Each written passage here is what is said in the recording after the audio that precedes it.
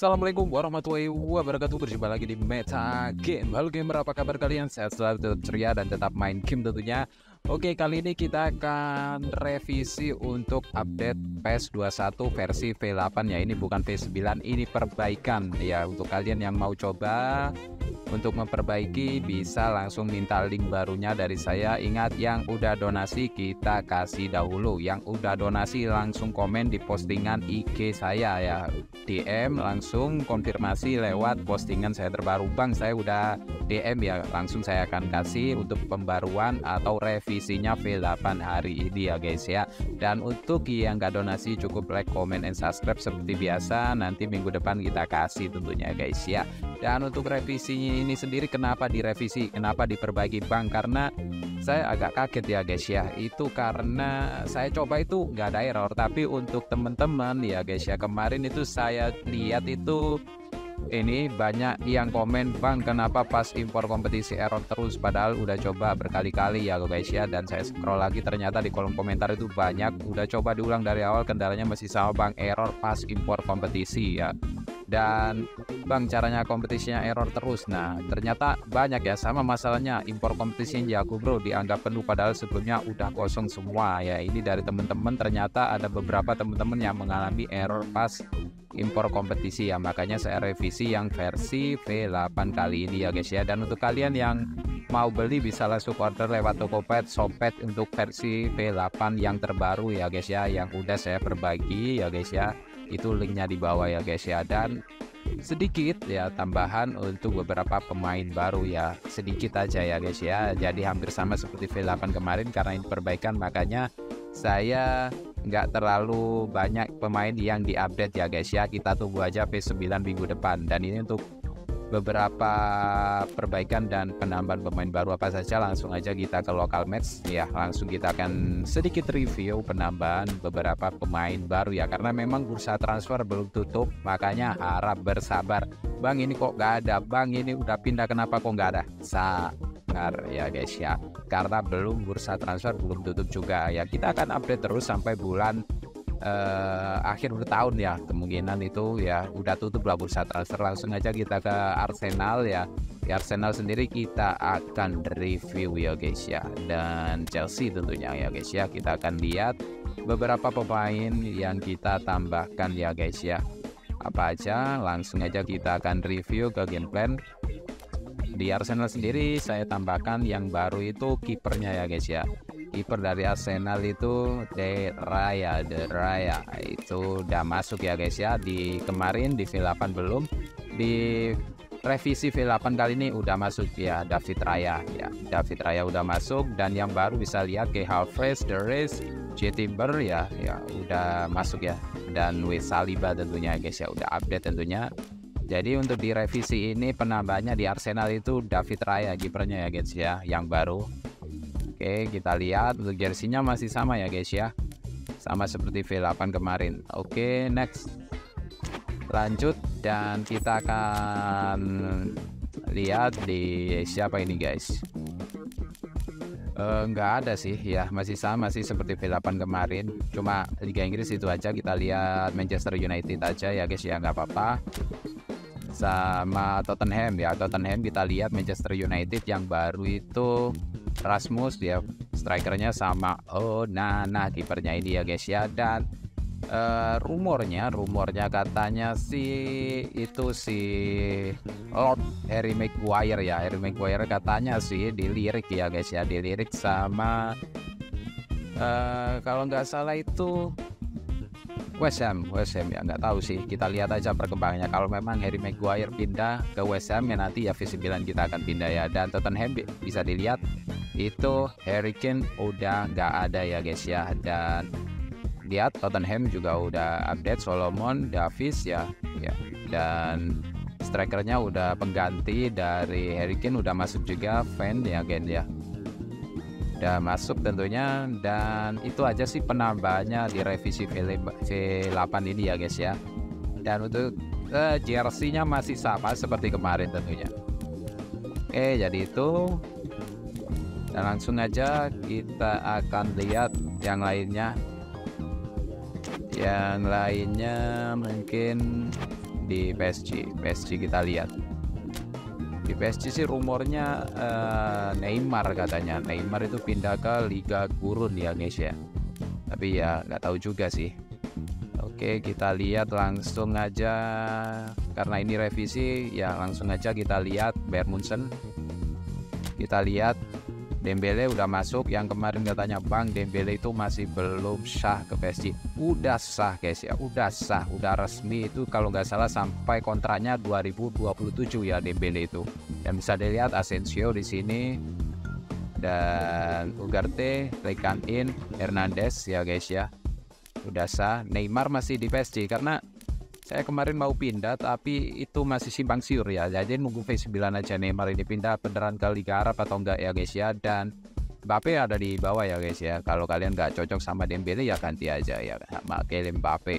Dan bisa lihat Harry Kane udah masuk di FC Bayern Munchen dan Kim Min Jae di cadangan CB atas sendiri 84 itu pemain barunya udah update juga ya. Jadi untuk direvisi V8 ini ya cuma itu aja sih pembaruannya. Ya guys ya sama hampir sama seperti kemarin cuma penambahan pemainnya cuma sedikit ya. Ya kita tunggu aja V9 Neymarnya saya juga masih nunggu ya. Kabar terbaru dan MLS kita lihat. Langsung aja ke Liga Gurun.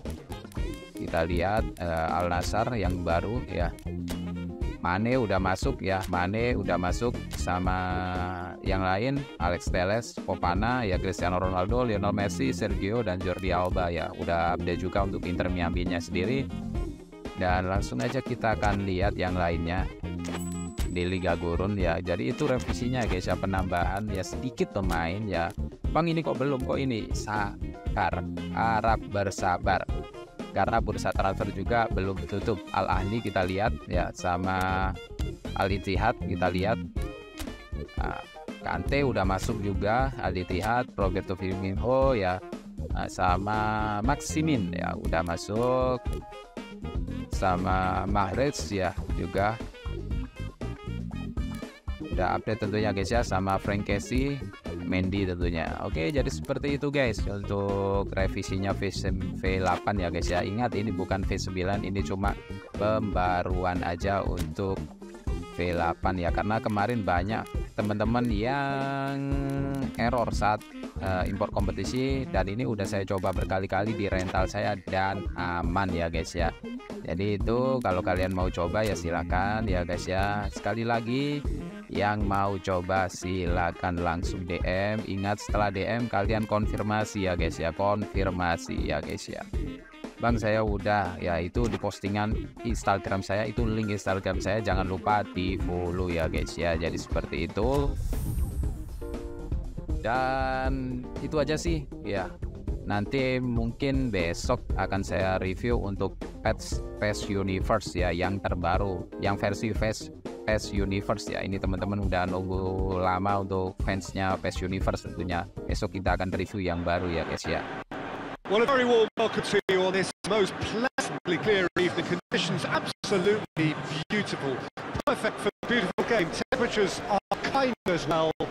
No doubt playing a hand in high attendance levels as well as an elevated level of anticipation here. Surely this is the hot ticket going around in this neck of the woods. It surely must be. So what a stage for the players to take to here ahead of such an important game.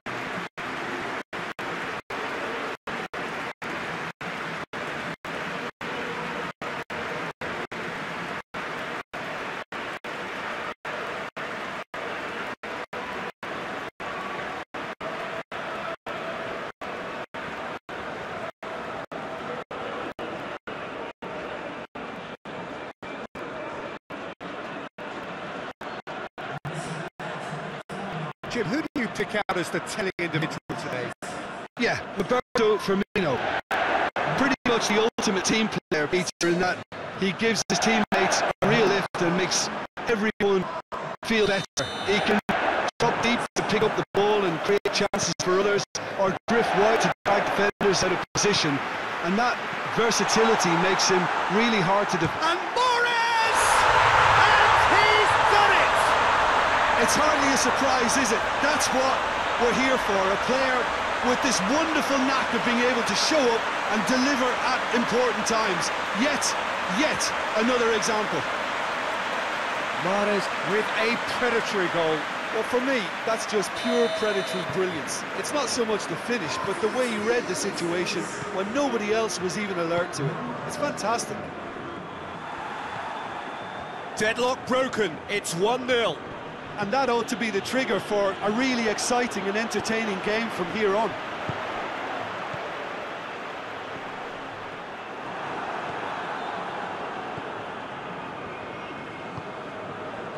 There has been just the early goal here, and it's 1-0.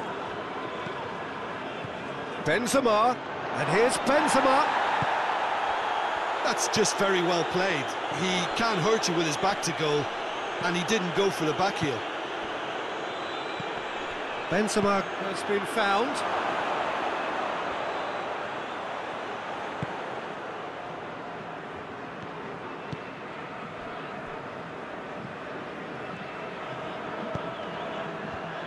Well read, he sorted that out. That is Conte.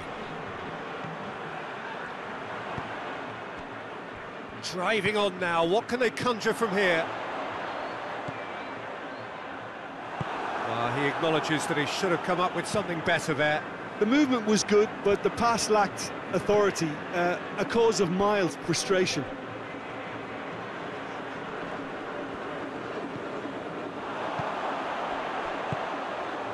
Cuts it out. Firmino. And here's Mahrez. And here's Roberto Firmino! Oh, that's a terrific save from the keeper. Well, you can't ask for much more than that. A difficult moment he simply had to deal with.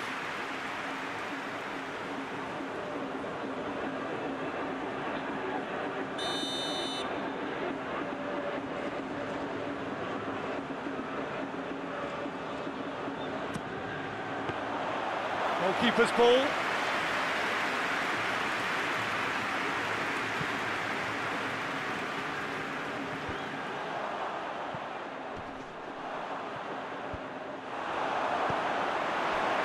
He's made sure that that won't get through.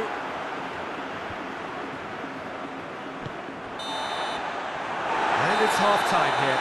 So there you have it, a close sport half of football, but Everton still had its moments. It ultimately produced just one goal. Another decent game up to now.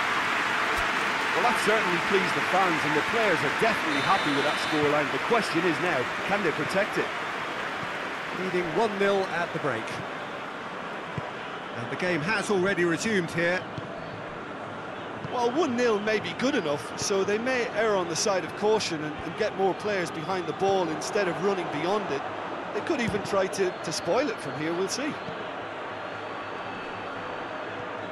Just brushed off the ball there. It's come loose. Now it's Kante. Neither side really getting hold of the ball. Gone out for a throw-in. So now we're going to get those changes we have been expecting.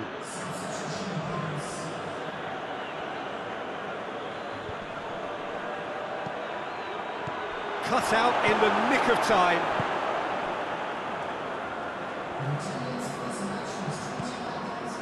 Bastos. Your impression so far, Jim? Well, Peter, if they're attempting to see out the game with such a, a narrow advantage, there's room for trouble. Uh, I just think they're sending out the wrong message. This could backfire. Well, he's certainly caught him there. It's a free kick.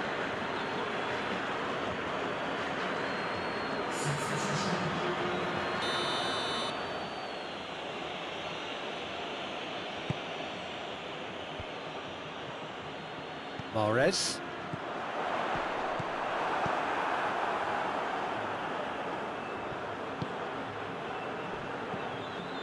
And here's Benzema. He's gone for it! And for a moment, time stood still. Well, I think the opposition was pretty sloppy in creating the problem for themselves then, but he was onto it so quickly and very nearly made them pay. Tries to get it forward quickly. Peter, they have to fight the onset of desperation and keep enough cool heads to still deliver. He's had a look, going for goal! He's going after it. And he's straight offside. There's a real appetite from them to finally put this game to bed, but will they? Yeah, it's pretty obvious as to who was going to be taken off. His energy levels began to, to sag, and he was never going to last until the final whistle. Plays it out to the flank. Oh, he's found him in space, and a shot! Great idea, just poorly executed. There's no doubt he made the right decision, but without the right result.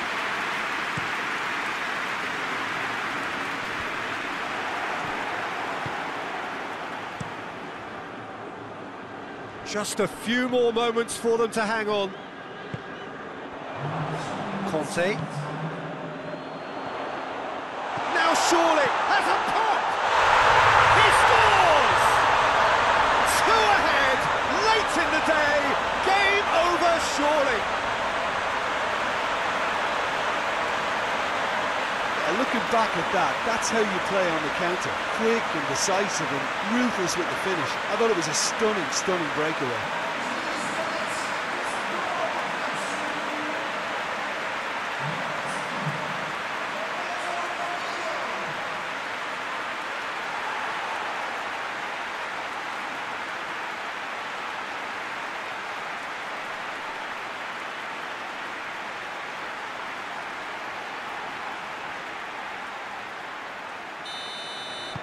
Two up and very little time left. Surely this is it. Added time is up, and there goes the whistle. Decent win via a very competent performance. Without doubt, they were the better side, and the result reflects as much. How do you look back on the game then, Jim? Well, if ever there was a good tone setter for a football match, that was it. First minutes,